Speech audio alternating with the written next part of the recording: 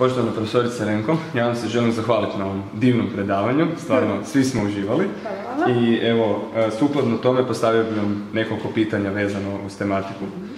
Moje prvo pitanje je, mogu li se mali i srednji poduzetnici odabirom inovativnih distribucijskih kanala odupriti velikim poduzećima i konkurenciji koju ona čine? Naravno da da. Zato jer je to jedini način da budu konkurentni i da ostvare konkurentsku prednost koja im daje stratešku snagu na tržištu. Eto, mislim da bi to bilo dovoljno. Odlično, hvala.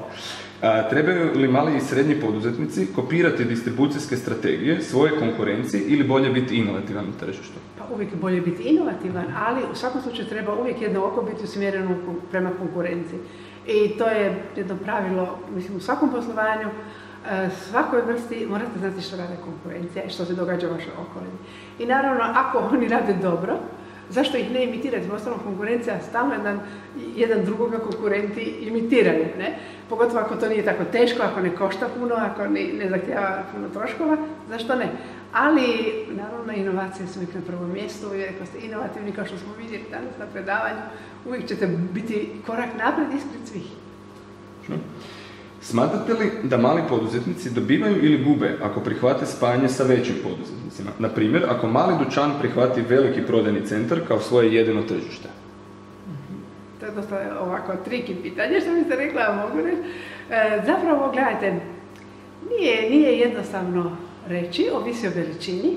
Ako je mali dovoljno već velik, već je prerastaju u srednje možda poduzeće i ako ima svoju posebnu konkurentsku prednost, dakle, na primjer, jednu, dvije, tri konkurentske prednosti, onda mu se ne isplati da ulazi u nekakve ugovore ili nekakve odnose ili nekakve akvizicije ili nekakve bilo kakve strateške savjeze.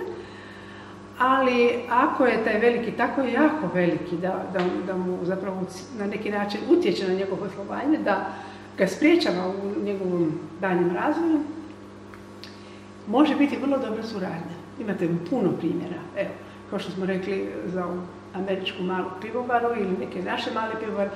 Zašto ne? Jer u tom slučaju vi ipak, e, e, mislim, ako vaš partner koji, koji je veliki, ako vam daje određenu slobodu u smislu i imena, i tržišta, i vaših, vašeg načina poslovanja, e, vaše konkurentske prednosti. Znači, on je samo vas kupio zato da jedan dio profita ostvari, a vi ste e, ušli u tu suradnju da bi također ostvarili bolji uspjeh. Da, eto. Odlično, profesorice. Hvala vam najljepša mhm, i do, do sljedećeg puta. Hvala i vama.